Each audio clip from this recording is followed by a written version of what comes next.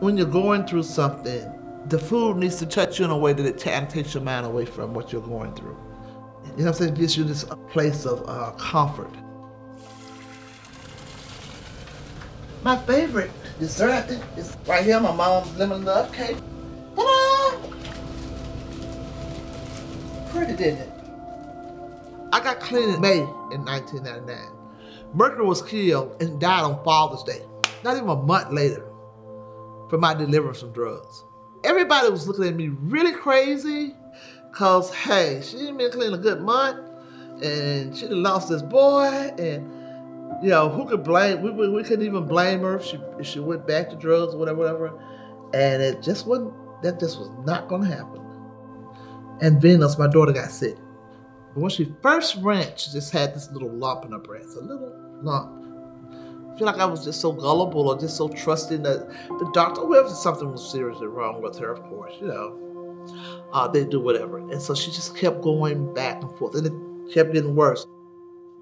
Venus passed away, and I needed to tell people, I needed to say, Venus is not a statistic, she's my daughter. And this is what happened.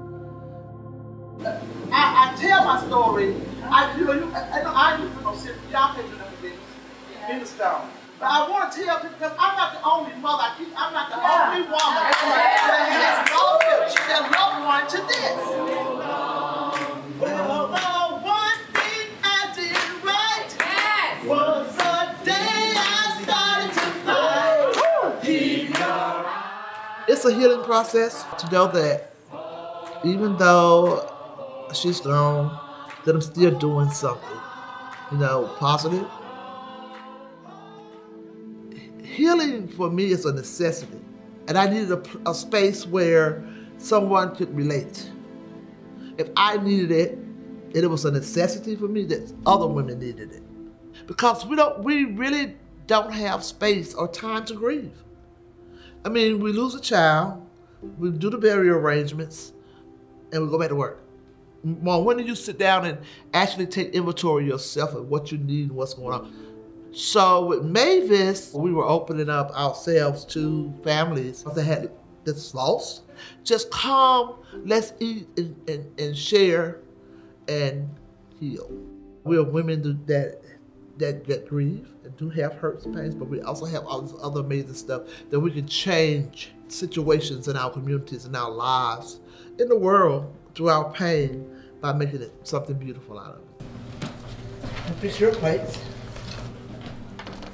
I'm gonna watch you eat. That's, some, that's some, something that I do. We'll have a room full of people. She'll stand right there and just watch people eat. Eating two and three plates of food. and uh, I like that. It's a lot of pain in in what happened, but when I put it into the cooking, I touch everything I cook. It turns out to be something beautiful.